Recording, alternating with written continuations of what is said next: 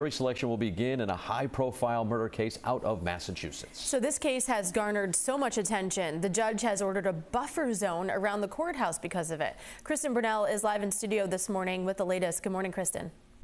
Good morning, Kate and Patrick. 43-year-old Karen Read of Mansfield is charged with second-degree murder in the 2022 death of her Boston police officer boyfriend, John O'Keefe.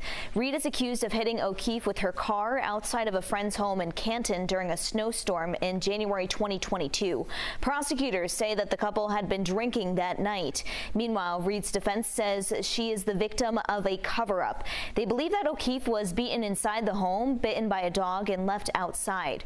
Read's supporters have gained attention attention as they have often demonstrated outside the courthouse, many wearing clothing and messages about the case into the courtroom. The judge has since issued an order prohibiting these types of demonstrations from happening within 200 feet of the courthouse during the trial. Legal experts believe finding an impartial jury will be difficult. We won't find jurors that never heard of this case, perhaps, but hopefully we will find jurors who have an open mind. Read has pleaded not guilty to charges including second degree murder. Now coming up in the next half hour, how the controversial case is having an impact on the people who live in the town of Canton. In studio, Kristen Burnell, 12 News.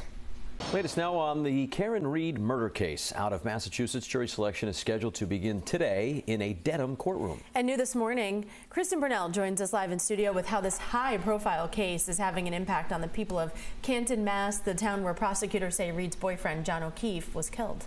Well, the case has gained national attention, and law ex experts believe that it will be difficult to find an impartial jury. Now, Canton residents say that the case has created such tension throughout the town. Many can't even speak about the trial with their own neighbors.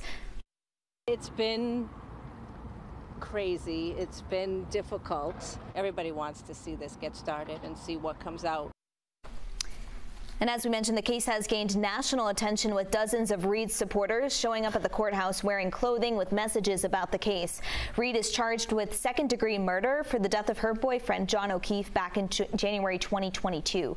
O'Keefe was also a Boston police officer. Prosecutors claim she hit him with her car and left him for dead in a snowstorm. Meanwhile, her defense says she is the victim of a cover up. They believe that O'Keefe was beaten inside the home, bitten by a dog, and left outside. The, the judge has also ordered a 200-foot buffer zone around the courthouse, as well as restrictions on megaphones and clothing to shield jurors from anyone outside who might influence them throughout the trial. Live in studio, Kristen Burnell, 12 News.